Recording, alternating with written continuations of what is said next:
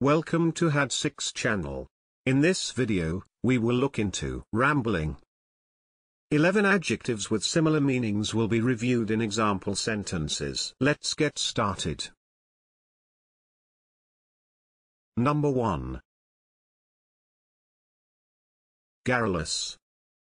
Which means excessively talkative, especially on trivial matters. Garrulous. For example, his garrulous and unreliable reminiscences. Number 2. Wordy. Which means using or expressed in rather too many words.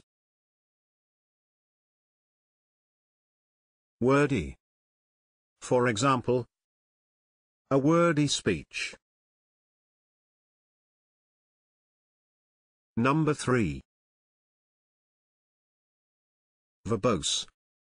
Which means using or expressed in more words than are needed. Verbose. For example, much academic language is obscure and verbose. Number 4. Disjointed. Which means lacking a coherent sequence or connection. Disjointed. For example, a disjointed series of impressions in her mind. Number 5.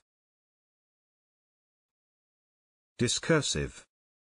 Which means digressing from subject to subject. Discursive. For example, students often write dull, second-hand, discursive prose. Number 6.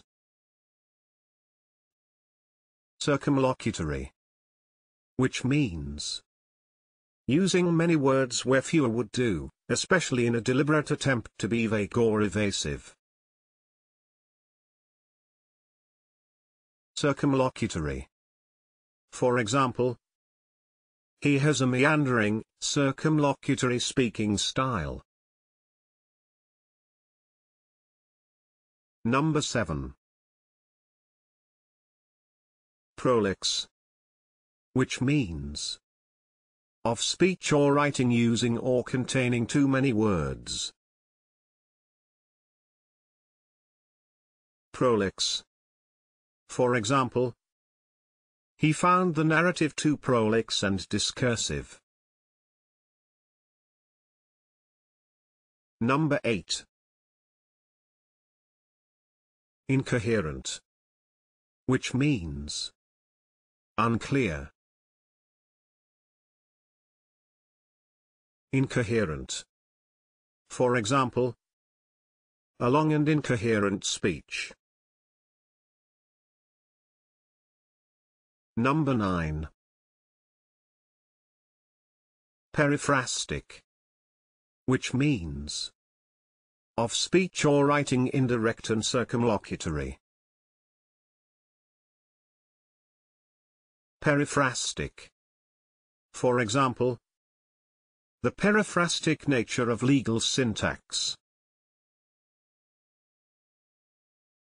Number 10. Long-winded. Which means of speech or writing continuing at tedious length. Long-winded. For example, a long-winded question. Number 11. Diffuse. Which means lacking clarity or conciseness. Diffuse. For example, Tonya's narrative is rather diffuse. Can you think of other examples? Please share them in the comment section below. See you in the next video.